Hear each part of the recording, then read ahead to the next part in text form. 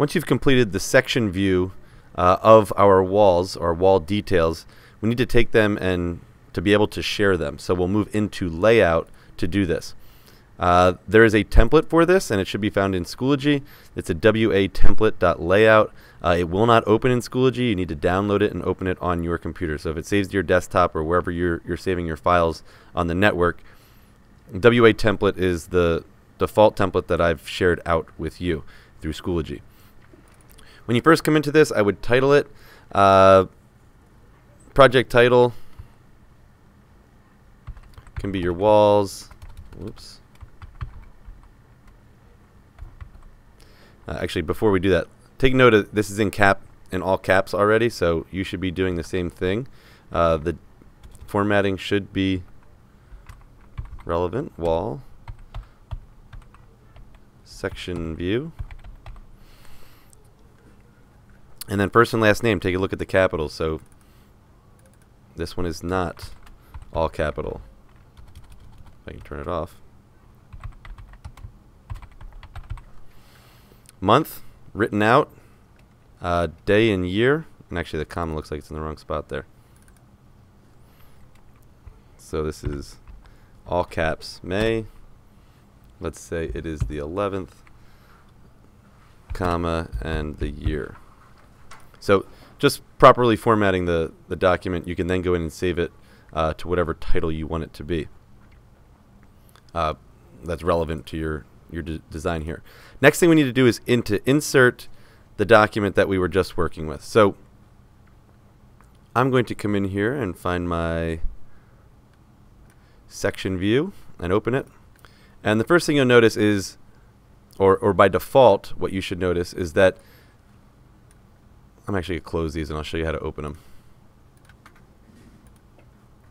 This just creates a view of whatever you had saved last in uh, SketchUp.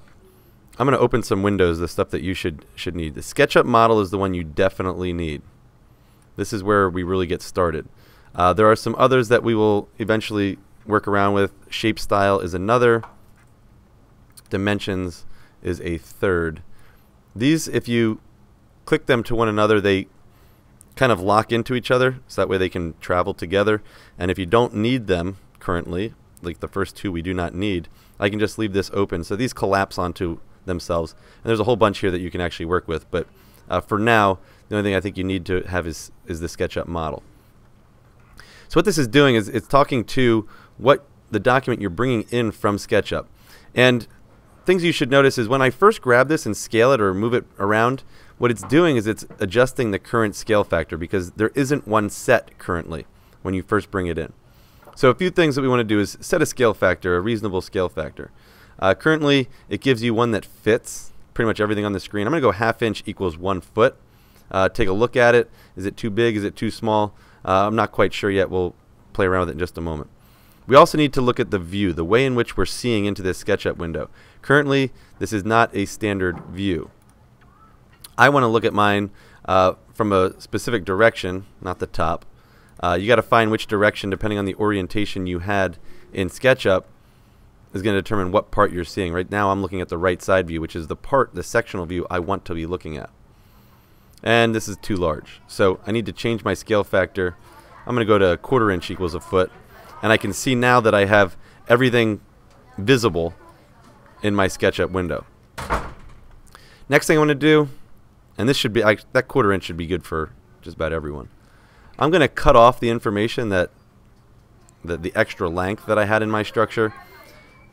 And the same thing for the top and the bottom edge as well. So I just want to get this to a point where I can see what I want to see. And really that's what the section view is trying to show, the details associated with this drawing. Right now I can't see a great deal of details, but it's an overall uh, big picture that I can, can drop into this window. After you've gone through the views, and I currently have it quarter inch equals one foot in real life, um, it is an orthographic projection, and it's currently looking at the right side of my structure. I'm going to change the style so that it's more printer friendly. And I can do this by clicking through all of the options. White on white's not so good. Um, white on these colored textures is a little bit better off. Um, so I can actually see the colored materials and color differences, uh, get the gist, but it doesn't have so much color in the background and stuff that is going to be a difficult thing to print. All right, so that's one opening scene.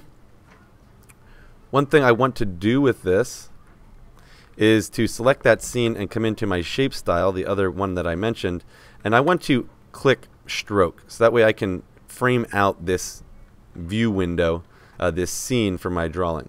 Sometimes it's good to break up your scenes in this fashion, uh, but this is where if you see that there's a border and you want it or you don't want it, it's a place that you can turn it on and off. Uh, that's under shape style and it controls whatever is selected uh, or is about to be drawn. So in this case, um, we'll have to determine what our finished design is going to look like, but this is where we can control the borders if we're trying to, to section off portions of the page. I'm going to actually turn this off for now. So it is awkward that this edge here just kind of disappears, so that's why uh, you may want to put that stroke on. But I'm going to drop another scene in. Uh, and in order to do that, I'm going to actually just hold the Option key down and drag a copy of the original scene. And the first thing that I want to do is I want to zoom in on and get more information about where my foundation is and how it connects to or, or the building gets started, where this uh, floor is and where this wall corner and how this all looks, this detail down here in the lower left of my design. So to do this, I'm going to have to go back and change the scale factor. And let me see what I can get away with here. So I just bumped it up to a half inch equals a foot. And I'm going to have to mess around with the scaling of this space so that I can see it. This is a good start, but see if I can make this a little bit bigger and still get what I want. Because my goal is to get close.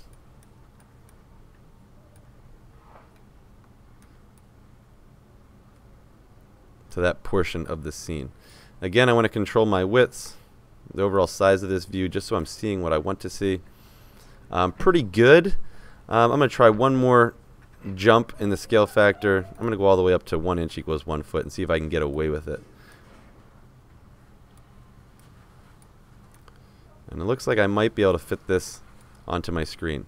So there is no set scale factor. It depends on the size of the, the structure you're designing um, and how much details you're trying to fit into one scene. But you can see that this is now significantly larger and gives me the details I need uh, when I go to construct this building.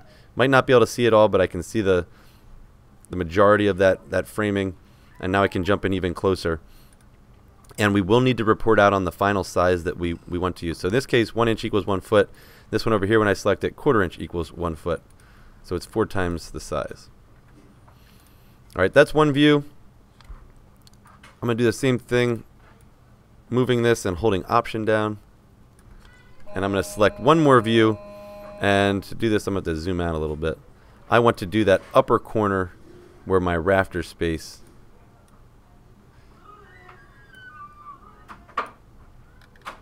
meets the walls. So I'm starting to look at something much larger than what or at least a different shape than what I had originally started with.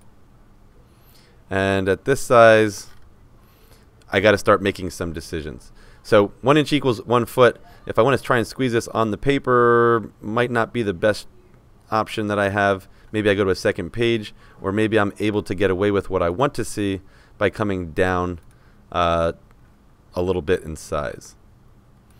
And this is the, the work that we need to go through, the details we need to go through in order to, to document, uh, to share the, the details that we are after. So that's the gist of it. That's getting stuff onto the page, trying to get the size and, and uh, objects, the, the details shown. Uh, there'll be additional information we need to go through and refine uh, in an upcoming video.